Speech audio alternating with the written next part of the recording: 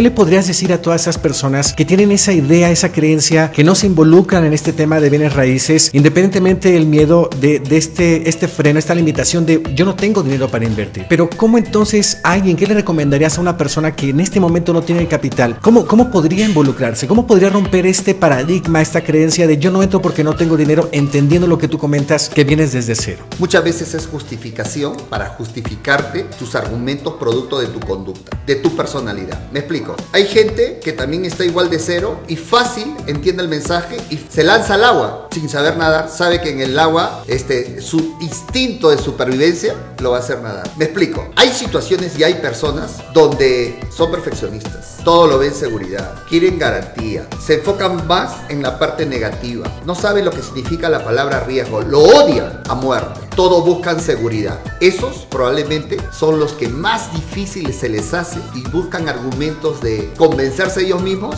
de que sin cero, sin plata, no puedo. Yo me he encontrado con personas así. Entonces, romperles el paradigma, el esquema, siempre les digo a esas personas, contágiate con los grupos donde están los locos. Por eso yo hablo de la parte loco, entendiéndolo a esa persona que comprende que sin tener dinero puede tocarle la puerta al familiar o al vecino y en un primer momento empezar, por ejemplo, haciendo de intermediación, diciéndole, oye tía, veo que tú tienes un techo, una terraza, veo que te falta dinero y que ya nunca vas a construir porque tus hijos ya se fueron a vivir y tienes 60 años, tío. Yo estoy aprendiendo con Jorge Gil a, a poderte vender esa terraza, ese techo, para que una tercera persona construya ahí y eso te va a generar a ti una rentabilidad de, por decir, 30 mil dólares. Hagamos un contrato, tía, serio, responsable, para que yo lo pienso vender en 42. Yo voy a hacer una inversión inicial de unos mil dólares porque requiere un trámite para independizarlo. En otros lugares le llaman eh, ley de condominio, en otros le llaman propiedad horizontal. Cada país tiene sus nombres y, y sus matices.